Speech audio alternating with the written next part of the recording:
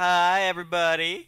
I thought it would be fun to cover the worst video game box art uh, of all time that I could find. Um, you know, even if your game, you know, is total crap, you could at least try to trick people into buying it, you know, with, you know, a cool cover. You're not supposed to judge a book by its cover, but a lot of people do. So, you know, it wouldn't hurt to have a cool cover. If you guys like it, let me know, and I can make a part two. There are a ton of bad box art out there. Like, oh my god, so much. So, I couldn't fit them all into this this video, but next one, if you guys like it, I can just add more.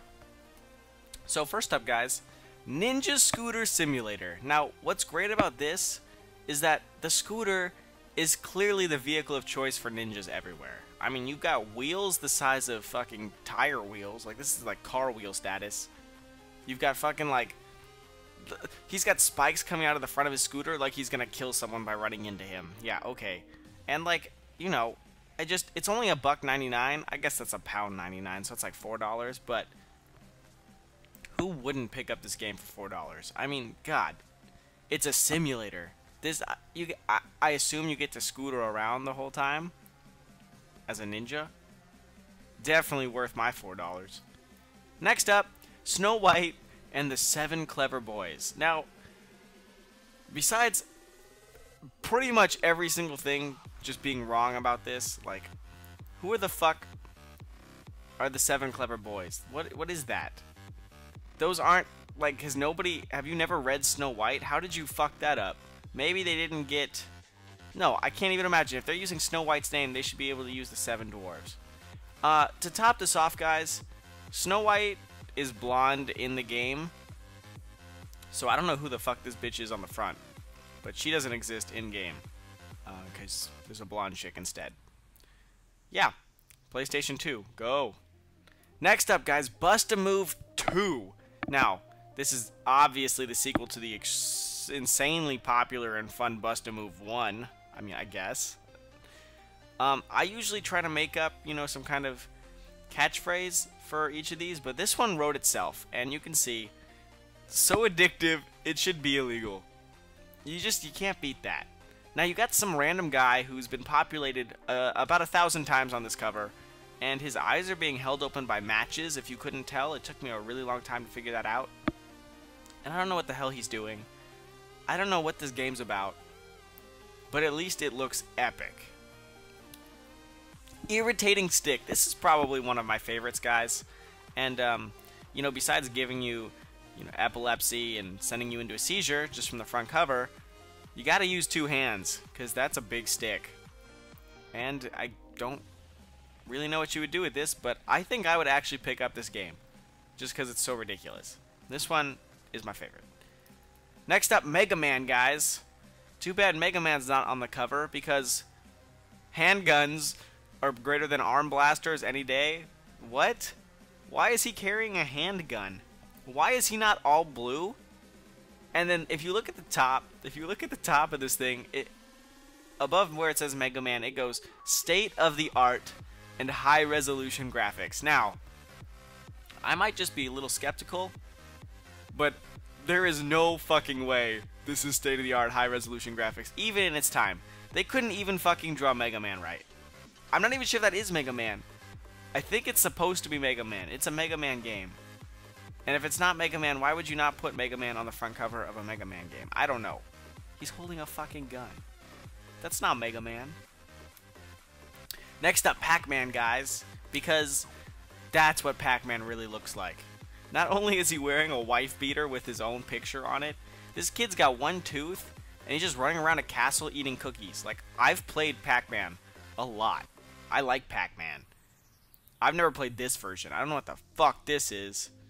But, you know, they say you play the arcade game at home in the top left. This doesn't...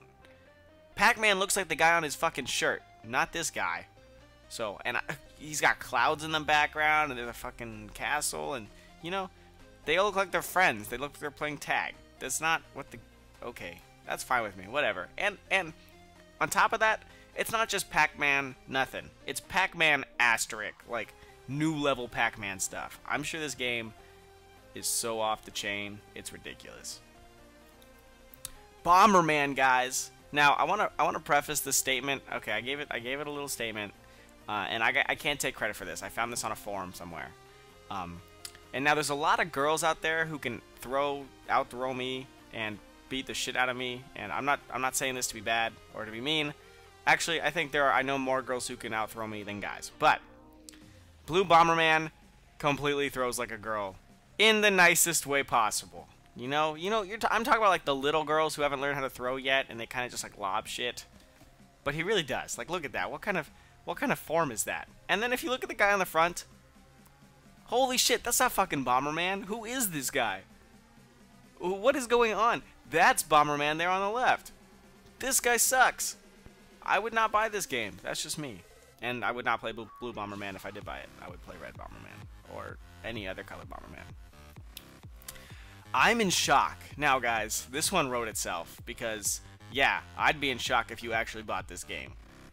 The fuck is this about? This guy's like, I think he's in a spacecraft. Like, there's no stars out, so I'm not sure if that's planet Earth. If he is, I don't, I can't even imagine where else he'd be. But that doesn't look like space back there. Not really. It doesn't even look like Earth, and he's being shot at, and he's just sweating bullets. And the game's just called I'm in shock. If you are dumb enough to pick up this game, I'm in shock. Pure pinball, guys. Now, this one made the list for a very, very obvious reason. Because I play pinball for the girls, too. That's my goal when I play pinball. I look at all the hot girls, and I'm like, yes, this is the game. Now, don't get me wrong. They're not in the game, like, at all. That's just, this is just cover. And then they put them three times. Like, they're in the background. Then they're the same girls up here in the front. And they're also on the pinball. So, I'm not sure what we're selling here. Look at that girl on the far left, too. She's just like, she's ready. She's ready. All these girls are ready. And they have guns? Like, what is this? Is this... And samurai sword? Okay, this is... I picked up pinball for the ladies.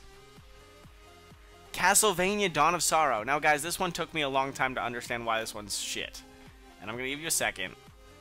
But I might be able to help you if I said box art inception. Because look, the regular the regular cover, it's inside the outside cover. Look at the outside. You see how it says two Nintendo DS on the left?